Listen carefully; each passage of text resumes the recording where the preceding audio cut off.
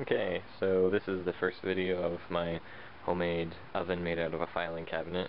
Um, so the first thing I kind of did is I obviously took out the drawers, and then there are these cross braces like this, and I took an angle grinder to them and chopped all those off. That's all I've done so far. My plan is to also go in and cut these out um, and just basically make room for all the insulation. I don't want any metal um, sinking heat to the outside, so I want to get as much insulation as possible to cover the inside of the oven. Um, I'll keep you up to date with other videos. This angle grinder I got is, I believe, a 7 amp from Home Depot. I really like it. It has all the power that I need. Yeah, it's 7 amp. Um, yeah. I definitely recommend a pair of goggles for this.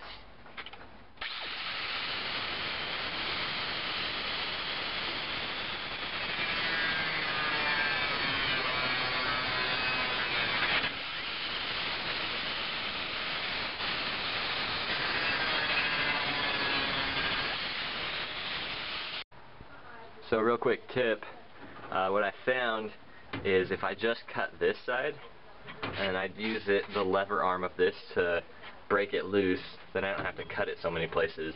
Right here I stuck a hammer, the nail puller side, whatever that's called, the jaws, I stuck it in here, and I just kept prying and prying until it popped loose. And so now I can use the lever arm just to break this off of it, just kind of go up and down, it's not very hard at all, and it just pops off. That way, I can take that whole arm off. So I've been working on the drawers. I just took the angle grinder to this part and cut it. So this is cut the front face off and I obviously took the handles off for now. I'll probably put them back on for the final part. And then what I did is I took this part out. See here. Got this part out and then I also cut off this part. I think I might do a two door system where the top two can open or the bottom two can open they'll be hooked together. So what I think I'll do is I cut the bottom clear here and I think I'll cut the top off here and I'll hook them together. We'll see what happens though. Don't be too hasty.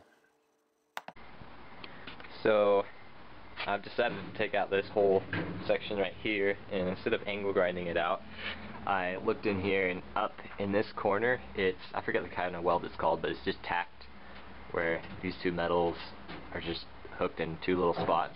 And so I just grabbed it and kept yanking like this, and then I took a hammer and hammered this back, and I did that to both sides, and I finally got them loose.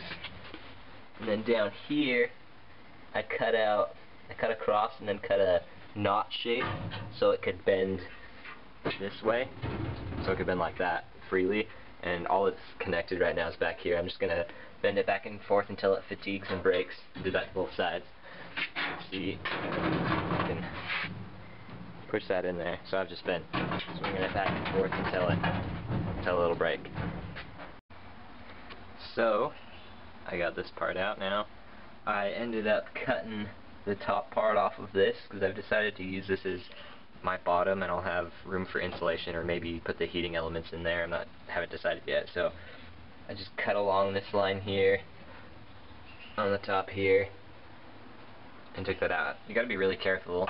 Um, I accidentally knocked this loose, which if I get fatigued back there too much, it'll break off. Otherwise, I don't have anything to set the height back there so that this is level, so I'm just gonna try and keep that preserved. Well, I'm done for today. Pretty much done all the angle grinding on here and removal of metal that I think I'm gonna do.